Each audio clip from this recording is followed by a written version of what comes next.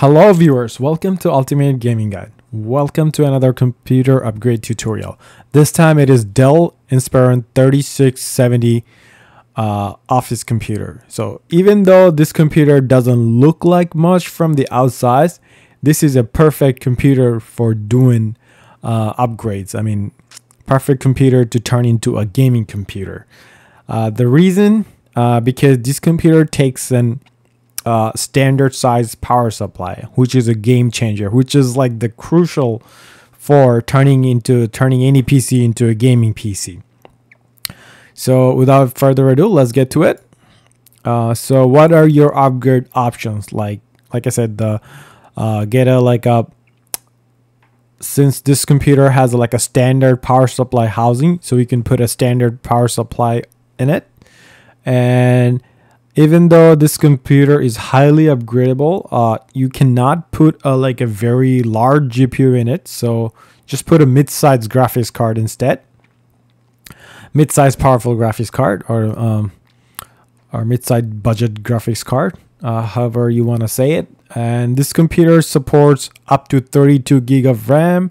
But if you're just using it for gaming, 16 GB is enough and this computer already comes with a 512 uh, NVMe drive. Uh, this is from SK Hynix, but if you need a bigger drive, go with the one terabyte or go with the two terabyte. Uh, I believe the um, NVMe that it comes with is uh, Gen 3, but uh, you know if you get a decent deal on a Gen 4, you can get a Gen 4 one uh, and possibly get even more performance out of it.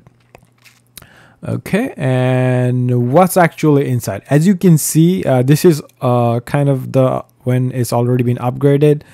Uh, this computer only comes with two RAM slots. As you can see, these uh, two RAM slots are full, and I was able to fit a standard power supply, standard 500 watt 80 plus power supply in it without any kind of problem.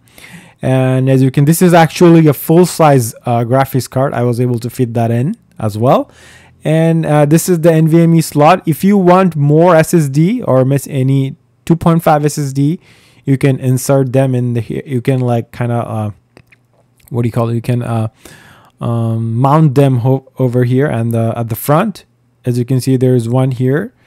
Uh, so that's that's your option to add more storage if you want.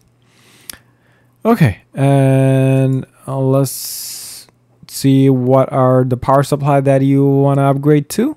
So as it, this was the old power supply. Uh, this was uh, 290 watt, but uh, this is uh, like a non-certified one. So this power supply is absolute trash. So you, if you want to do any kind of upgrade to it, you must need a decent power supply. I would suggest this ARESGAME power supply.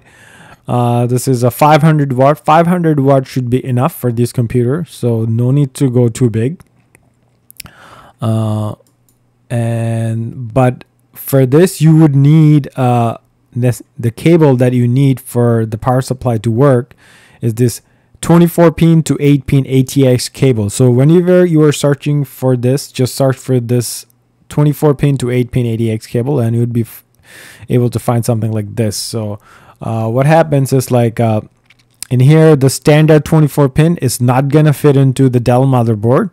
So uh, what are you going to do? You're going to plug in this cable in this standard 24 pin and you have this 8 pin available. That's what's going to plug into the motherboard. And and you're uh, it will be able to power up the motherboard. Okay. And for the RAM options, uh, you can go. This computer comes with uh, uh, Core i5 8400 or Core i5 9400 CPU. Uh, these are six core CPU and they can go up to 2666 megahertz frequency and the highest RAM amount is 32 gig but I'm using this RAM 2400T Samsung RAM and they work amazingly well.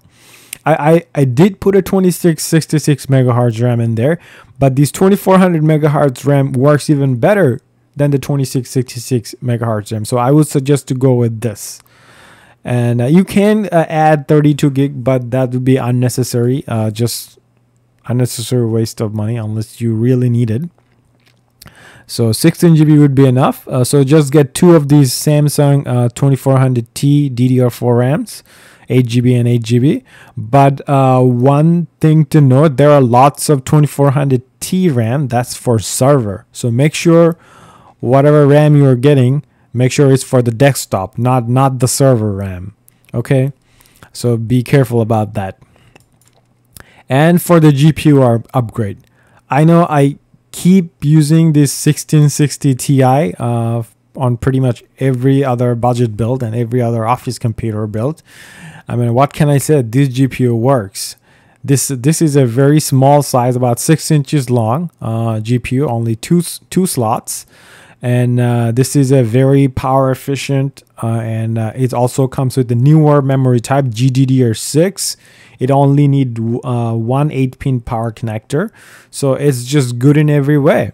So i mean i know i'm just keep using this but uh, like i said this thing just works.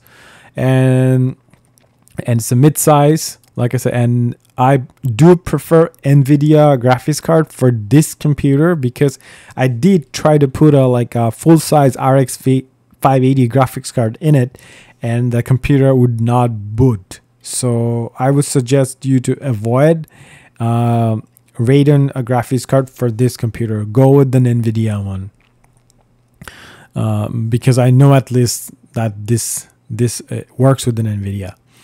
Okay, and after I plugged in the power supply, RAM, and the graphics card, now it's time for benchmark testing. So this is the 3DMark benchmark testing score and as you can see, I was able to get a legendary score. Uh, 30, um, sorry, uh, 5760, 5760 score for this computer, which is legendary. Uh, legendary doesn't mean it's like the high score. It means like using the same hardware. Nobody has gotten better than you. Using the same hardware, you like you are perfectly or efficiently using your hardware and you are able to achieve the legendary performance like boost out like the performance of your machine uh, and um, you can see my CPU score 4000 um, 4301 and uh, graphics score is 6127 I, I you can see my um, graphics card is bottlenecked by my CPU by my CPU but because my CPU score is kind of low but still I was able to achieve legendary score so that means everything working very efficiently. And uh, when uh, 3DMark's uh, score is like, uh, you know, 3DMark scores is standardized in 1440p. Like now, when it comes to gaming, everybody 1440p is the standard. But uh, if you are willing to turn it down a little bit, uh, if you're willing to turn it down to 1080p, you can essentially double this score. So this score would be like around close to 10,000 if you just playing it uh, on 1080p Ultra. So that's something to take note of. And just for another comparison, uh, Asus ROG Ally. Uh, this is like a newest handheld device, and you can pretty much play any games with that thing. That little device. It's like a little laptop, little handheld laptop kind of deal. But I did run a benchmark test on a ROG Ally, and my score was only 1500. So in here, you're getting almost 6,000 score. So almost four times as much. So this is a very good score from a five-year-old computer. Uh, I mean, I, I can't just stress this enough. Uh, and this is another uh, benchmark score from Novabench. This one uh, does like uh, this, this doesn't only test the CPU and GPU. This this tests all the other components. Uh, uh, 675 CPU score, 302 GPU score. This this GPU score on it's not doing it justice. This should be a lot higher. As, as you can see, the memory score is very good. I'm getting 261. That's a very good memory score. Normally, I get like around 200. And the storage score is also decent, 203. This is this is the storage that's this computer already came with. SK Hynix NVMe. But if you're willing to put a, like a Gen 3 or like a Western Digital uh, or Gen 4 uh, NVMe in there, you would probably get like around 300 score. So that's something to take note of, but it's not super necessary. This the NVMe that this computer comes with is enough. And that's our total expense summary uh, for the Dell 3670 tower. Uh, you could you can expect to spend about $80. This is a newer computer, so this is a little bit expensive. And for 16 GB uh, RAM, you are expected to pay $15. For a, a power supply, 500 watt power supply, you are expected to pay $30. And for a 1660 Ti GPU, are expected to $80. I was able to get one in Facebook Marketplace for around 60 bucks, so that was a good deal. And for a 24 pin to 8 pin power cable, you are expected to pay $5. So in a total about $210, you can get a very good, very demanding uh, gaming computer that can literally play any games. Uh, for newer AAA games, you probably the FPS would be probably a little bit low, but this is a very good gaming computer with 6000 score. And just for comparison, I, I said like uh, the newest ROG Ally is only have 1500 score, and with this you have like 6000 score. So very very good. Uh, I did not expect uh, this computer to per to perform this good. I do put a lot of information out there, so if you have any kind of question about anything, feel free to comment. I will try my best to answer those. And uh, thank you guys uh, for watching. You guys have a good day.